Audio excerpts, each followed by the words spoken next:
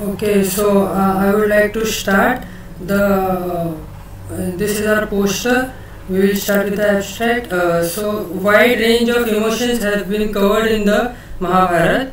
Uh, so we have we are seeing that whether we can uh, write some program that would uh, catch those emotions when they change, how quickly they change from one end to the other.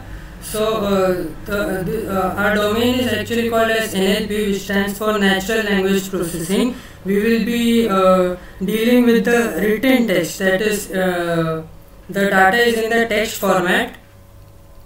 Uh, So uh, polarity, uh, which I told you, is uh, how quickly the sentiments change from one end to the an- another. Suddenly, it, it is a happy day, but it started raining. So between these two sentences, we will get the maximum polarity.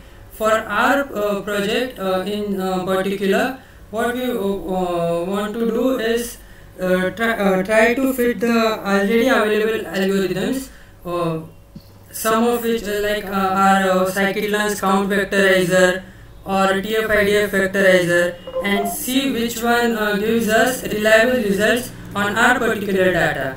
So um, this is a 150 year old translation of the Mahabharata and uh, what we are trying to do is uh, plot on the y-axis how negative or positive the sentiments are for each sentence. And on the uh, uh, y-axis how opinionated the sentence are or if they are just plain just stating something. Today this this this happened these are the events uh, going on so then it is uh, then we are calling it as fact and giving it a low uh, score so we can see uh, there are 18 parvas we have plotted them in relation to each other these uh, points you can see uh, these uh, are uh, relative to the each parva. We see that the Shanti parva is the most opinionated. Means people are giving their heartfelt opinions uh, instead of just stating uh, the order of events. Next, uh, this is the overall workflow we have tried to follow. So we have used a circle instead of a flow chart because this is not linear progression.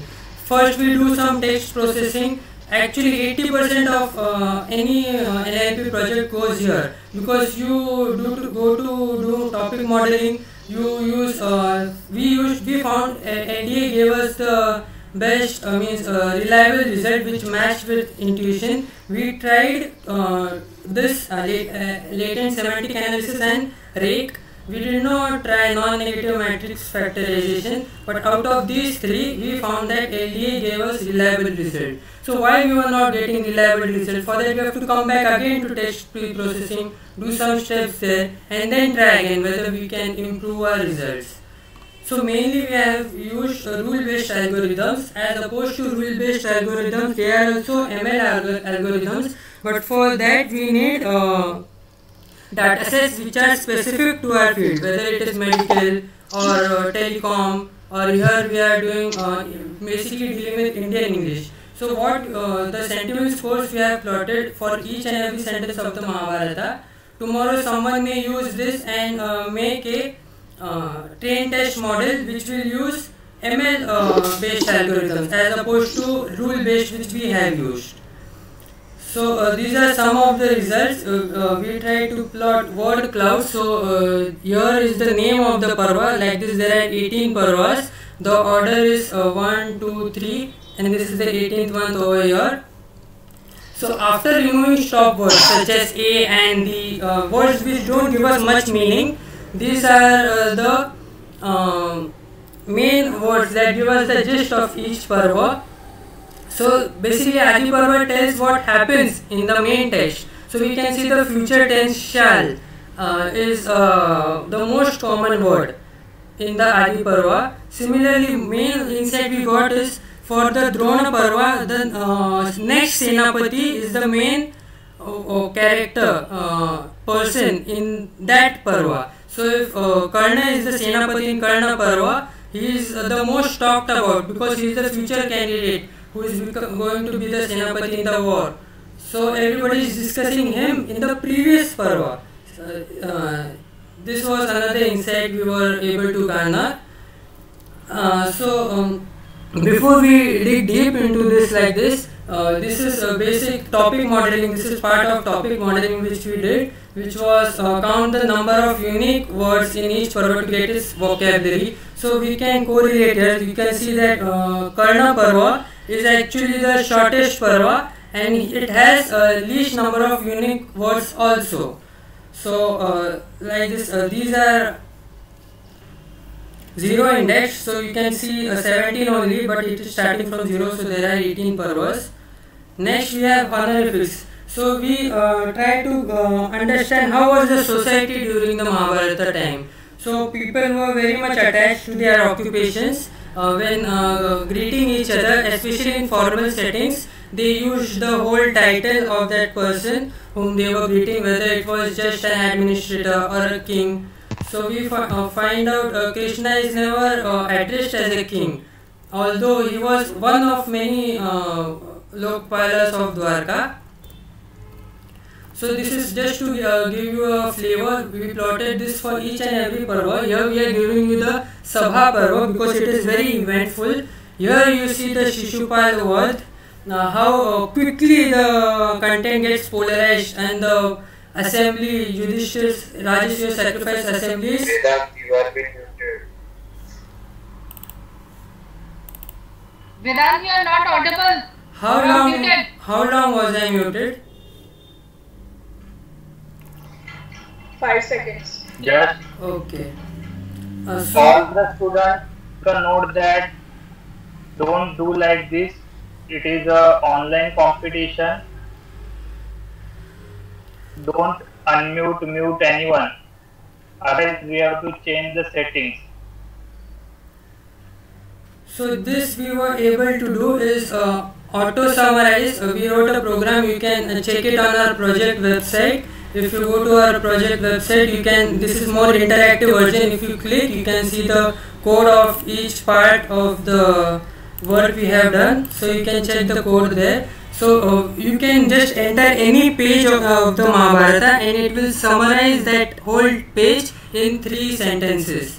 So uh, this is the Anudyut. This is uh, you see between the Anudyut and Dyut, uh, things uh, become unpolarized again. Everybody is amicable with each other until Draupadi Vastraharan Parva, where again things become extremely polarized.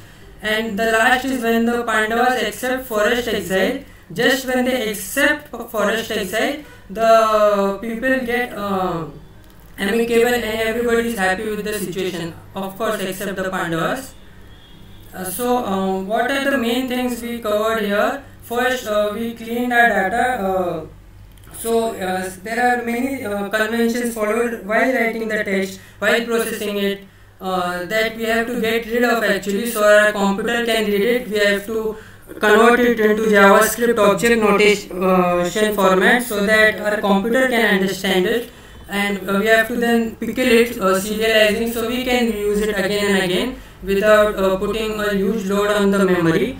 Speaking of memory, there are 1.2 million words in the text we analyzed and uh, we did actually this uh, term frequency inverse document frequency matrix. So uh, if we could show you it creates a, a sparse matrix. Sparse matrix means most numbers are uh, zeros over there uh, uh, if it doesn't occur in each of the parva, if it occurs in the parva, we put a 1 over there, like this uh, we did in the TF-IDF matrix. It uh, Other than that, we did hashing. So instead of storing 1 and 1.2 million words in memory, we uh, counted the unique number of words and gave them positional arguments. So we stored unique word in memory only once.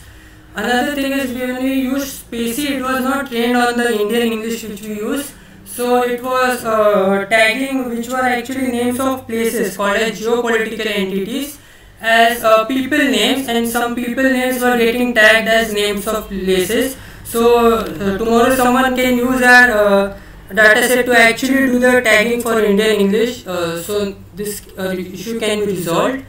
Then we use Gensim's topic with the help of Jensen we do topic modeling as we sh- showed here, uh, LDA latent Dirichlet allocation algorithm gave us uh, best result. Uh, then we used two approaches to sentiment analysis. We used the TextBlob path as well as NLTK. Both gave us um, almost similar results, but the computational efficiency of Spacy was higher. Uh, for word cloud, we had to wait for about uh, two and a half hours uh, for the whole uh, work to get last one minute, okay? Okay. Uh, so these are the some other things. Uh, th- frequency-based embeddings uh, is the if the word occurs more, uh, it gets a higher importance. Then we used uh, scikit-learn's count vectorizers to vectorize the text, TF-IDF vectorizer, and there is also TF-IDF transformer. But we found for our purpose, TF-IDF vectorizer was better. That's it. Uh, yeah, and 50,000 were unique words which occurred only once out of 1.2 million words. That's all. Thank you, Vedant. Now